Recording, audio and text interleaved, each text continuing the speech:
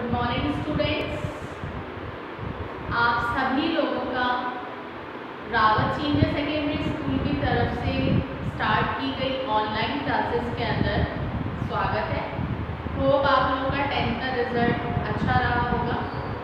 अब आप लोगों को सब्जेक्ट्स के बारे में चूज़ करना है आप लोगों को सब्जेक्ट क्या सब्जेक्ट आपको लेना है तो पॉलिटिकल साइंस जो भी विद्यार्थी लेना चाहते हैं, उनके लिए आज मैं स्टार्टिंग के अंदर आप लोगों को ये बता रही हूँ कि लास्ट ईयर जो हम लोगों का सिलेबस एलेवेंथ के अंदर चलता था, वो अब करंटली चेंज हो गया है और अब आपकी जो बुक्स चलेंगी वो एन द्वारा संचालित जो किताबें हैं वो आप लोगों का कोर्स जो है उसके अंदर शामिल की गई हैं तो ये आप विशेषता ध्यान रखेंगे कि जो भी बच्चे इलेवेंथ क्लास के अंदर पॉलिटिकल साइंस ले रहे हैं, वैसे उनको सबको ही पता है कि इलेवेंथ क्लास का पूरा सिलेबस जो है वो चेंज हो चुका है। तो इफ़ अगर आप बुक लेंगे तो देखिए एन के अंदर जो आपकी बुक्स आ रही हैं, वो आएगी राजनीतिक सिद्धांत। एक पार्ट दो बुक्स हैं, दो पार्ट्स के अंदर डिवाइड है। एक राजनीतिक सिद्धांत और दूसरी भारत का संविधान, सिद्धांत और व्यवहार। ये दो बुक्स जो हैं ये आपकी आएँगी और इसके अंदर जो आपके चैप्टर्स हैं उनके बारे में आपको संक्षिप्त जानकारी प्रदान कर देती हूँ जो राजनीतिक सिद्धांत वाली आपकी जो बुक है उसका जो फ़र्स्ट चैप्टर है वो है राजनीतिक सिद्धांतों का इसके अंदर आप राजनीतिक सिद्धांतों के बारे में उल्लेख करेंगे कि राजनीति के अंदर कौन कौन से सिद्धांत प्रचलित हैं अध्याय सेकंड जो है उसके अंदर हमारे संविधान के जो मूल्य हैं, उनको शामिल किया गया है। जैसे कि स्वतंत्रता स्वतंत्रता का क्या अर्थ होता है? इसकी क्या परिभाषा दी गई है? स्वतंत्रता के आदर्श कौन कौन हैं? इनके बारे में बताया गया है।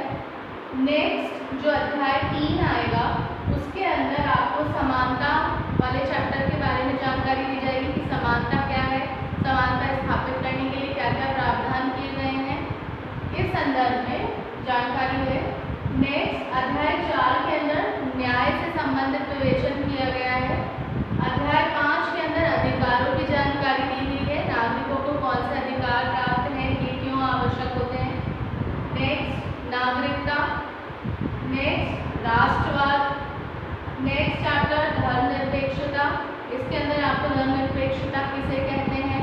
भारत क्या एक धर्मनिरपेक्ष राष्ट्र है इसके बारे में जानकारी दी गई है नेक्स्ट आपका जो नाइन्थ चैप्टर आएगा वो शांति है और जो लास्ट टेंथ चैप्टर है वो विकास है डेवलपमेंट तो ये जो है ये आपका जो फ़र्स्ट बुक है उसका जो सिलेबस है वो ये रहेगा कि इसके अंदर ये टेन चैप्टर्स जो है वो शामिल किए गए हैं नेक्स्ट जो आप लोगों की बुक है वो है भारत का संविधान सिद्धांत और व्यवहार ये सेकंड बुक है आप लोगों की और इसके अंदर जो चैप्टर नंबर फ़र्स्ट है वो है संविधान क्यों और कैसे सेकंड चैप्टर भारतीय संविधान में अधिकार अर्थात भारतीय संविधान के अंदर नागरिकों को कौन कौन से अधिकार प्रदान किए गए हैं उनके बारे में जानकारी है नेक्स्ट चुनाव और प्रतिनिधित्व, इसके अंदर चुनाव कैसे होता है, उसकी क्या पद्धति है, क्या योग्यताएँ हैं, उनके बारे में जानकारी दी गई है।